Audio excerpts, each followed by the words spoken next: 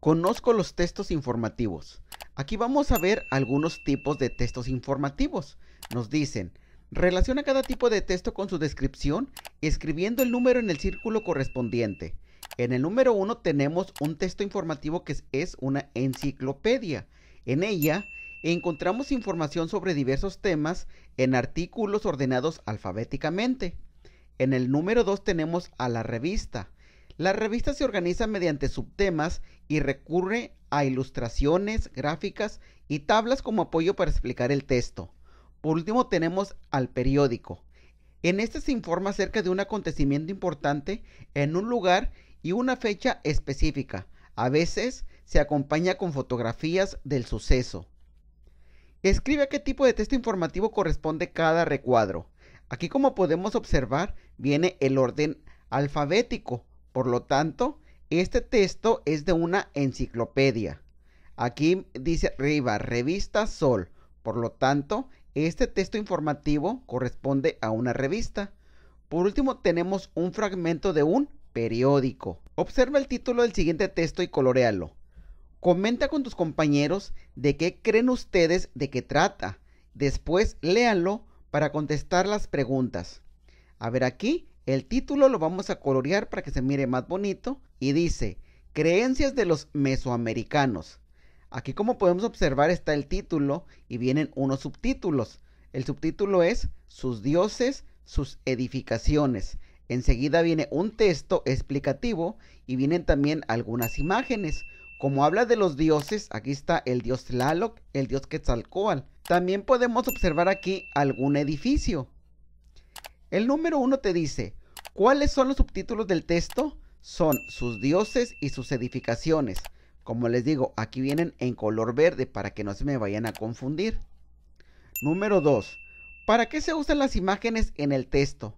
Estas imágenes de los dioses y de la edificación se usan para atraer la atención del lector, también para hacer entender la información de que se está transmitiendo de una forma más agradable, porque si tú miras puras, puras letras te vas a aburrir. Por esa razón, siempre en los textos informativos podemos encontrar algunas imágenes. Número 3. ¿Fue correcta su interpretación del título del texto? Sí, sí fue correcta. ¿Por qué? Porque el texto se relaciona con el título. Recuerden que ustedes van a leer este texto, ¿verdad? Y como ustedes pueden apreciar, el texto que ustedes leyeron sí se relaciona con el título, que es Creencias de los Mesoamericanos. Y también se relaciona con los subtítulos, que son sus dioses y sus edificaciones. Lee con atención el ejemplo de un texto informativo que podés encontrar al interior de una revista. Observa los elementos que lo componen y realiza lo que se pide. A ver, aquí podemos observar que viene el título, vienen las viñetas, el complemento y la ilustración. El número uno dice, describe cómo está ordenado el texto informativo del ejemplo. ¿A qué ejemplo se refiere? A este que acabamos de observar. Como puedes observar, primero está el título. Aquí lo podemos observar con letras grandes. Enseguida viene las viñetas. Después encontramos el complemento. En el complemento pueden venir diagramas, gráficas y tablas. Por último, podemos observar la ilustración. Aquí como está hablando de la era de los faraones, esta imagen corresponde a un faraón. Número 2. ¿Por qué crees que las letras tienen diferentes formas, tamaños y colores? Porque de esta forma permiten que el lector identifique no solo el significado de las palabras, sino el lugar que ocupa dentro de la jerarquía de textos. Recuerden que si las letras están muy grandes, en esta ocasión estamos hablando del título, porque las letras del título vienen más grandes. A eso se refiere a las jerarquías. Entre más grandes sean las letras, quiere decir que viene como títulos. Vienen un poquito más pequeñas, son subtítulos. Y las letras de un tamaño normal, esto ya viene a relacionarse con el complemento. Número 3. ¿Por qué el texto no cubre todo el espacio en las páginas? Esto no lo cubre por estética, porque un texto debe tener márgenes para ser más atractivo. También se agregan gráficas, tablas e imágenes. Porque imagínense que ustedes vean aquí puras letras, así como viene aquí, puras, puras letras. Pues ustedes se van a aburrir porque están pequeñitos. Ustedes necesitan de que aparte de las letras, también vengan algunos dibujos, algunas gráficas y también que las letras, algunas vengan de colores y de formas diferentes. Escribe el nombre de dos libros en los que puedes encontrar textos informativos. Después, busca un texto en cada uno. Escribe el título de que trata y las páginas consultadas. ¿A qué se refiere? Pues que ustedes van a buscar un libro. Por ejemplo, yo encontré un libro que habla acerca de los eclipses. El título son Luces y sombras en el cielo. ¿De qué trata este libro?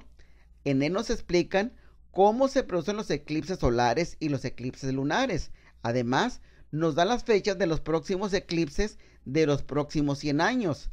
Este libro tiene 155 páginas. Del título que yo estoy observando viene en la página 45, pero el libro en sí tiene 155 páginas. Enseguida tomé otro libro. Este es de los microbios. El título del texto es Seres pequeños pero peligrosos. ¿De qué trata este libro? Trata de la importancia de los microbios, que son imprescindibles para la vida, y también los causantes de varias enfermedades. Este libro tiene 64 páginas. Encuentra dos palabras cuyo significado no hayas entendido en cada texto que consultaste y búscalas en el diccionario. Cuando yo estaba mirando el libro de los eclipses, miré una palabra que dice umbra. Una umbra es la parte interna y más oscura de una sombra. Por ejemplo, aquí está el eclipse, ¿verdad? Está el sol. Vienen los rayos del sol y está la luna. Como ustedes pueden observar, la luna está eclipsando a la Tierra. Esta parte, que es la más oscura, a esto se le llama umbra. Lo que viene más arribita, aquí más arribita, es la penumbra. Pero lo más oscuro es la umbra. En el siguiente libro miré la palabra microbio. Un microbio es una diminuta porción de vida que solo podemos percibir visualmente con un microscopio. Los microbios como son muy pequeñitos a simple vista no se miran. Por ejemplo aquí está el portaobjetos, ¿verdad? Aquí vamos a poner algunos microbios y con el microscopio ya los podemos ver más grandes, que son así de esta forma. A simple vista sí, ustedes no los ven, pero ya por este lado del microscopio ya los pueden percibir, ya pueden ver cómo es su forma. Completa el siguiente esquema para escribir un texto informativo. Aquí tú vas a elegir el texto que te agrade. Por ejemplo, yo voy a hablar acerca de las plantas. Por eso aquí nos preguntan, ¿cuál será el título del texto? El mío será Las plantas. El subtítulo número uno, Los tipos de plantas. Recuerden que hay plantas pequeñitas que son las hierbas. También hay unas plantas un poquito más grandes que son arbustos. Y los más grandes son los árboles. Marca con una palomita los elementos que tendrá. El texto que yo voy a poner va a tener gráficas. Va a tener pie de ilustración, fotografías y también recuadros informativos. Si el tuyo tiene tablas, aquí le vas a poner una palomita. Y si tiene dibujos, también. Subtítulo número 2, voy a hablar de los polinizadores. Recuerden que una plantita no se reproduce sola. Necesita de los insectos para que polinicen la flor y de, esta flor ya salga un fruto. Subraya tus fuentes de información e ilustraciones. Yo lo voy a buscar en internet porque para mí es más fácil. Yo tengo mi computadora, ¿verdad? yo voy a entrar a una página que sea segura para mí. Esa página se va a conectar con un servidor y de esta forma yo voy a extraer la información que necesito. Escribe tres preguntas que te servirán para buscar información sobre el tema. Pregunta número uno. ¿Por qué al árbol se le caen las hojas? Miren, a los árboles se le caen las hojas en el otoño porque en el otoño casi no llueve y el árbol necesita descansar y para que el árbol no se muera tiene que dejar caer todas las hojitas para que no se vaya a deshidratar y vaya a morir. Pregunta número 2. ¿Cuáles son las plantas que tienen espinas? Las plantas que tienen espinas son los cactus y normalmente los encontramos en los desiertos. Pregunta número 3. ¿Cómo se clasifican las plantas? Las plantas se clasifican en hierbas, en arbustos y en árboles. Contesta las preguntas. Después comparte las respuestas con tus compañeros. Recuerden respetar sus opiniones. Número 1. ¿Por qué serán útiles los títulos y subtítulos en tu texto? Son útiles para entender, sorprender o enganchar al lector y también para hacer que ellos quieran saber más. El subtítulo guía al lector para que siga leyendo o analizando la información. Número 2. ¿Crees que la información de la nota, las imágenes y las tablas serán suficientes para comprender bien el tema de que tratas? ¿Por qué?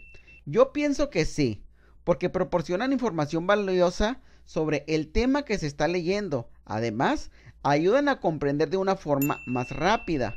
Aquí como ustedes pueden apreciar, les estoy poniendo algunos ejemplos de algunos textos. Viene por ejemplo el título, recuerden que es con letras grandes. Los subtítulos con letras un poco más pequeñas. También como pueden observar vienen algunas imágenes. Aquí tiene por ejemplo también el de los eclipses. Como los animalitos creen que es de noche. Así como yo hice mis textos, ustedes también lo van a hacer.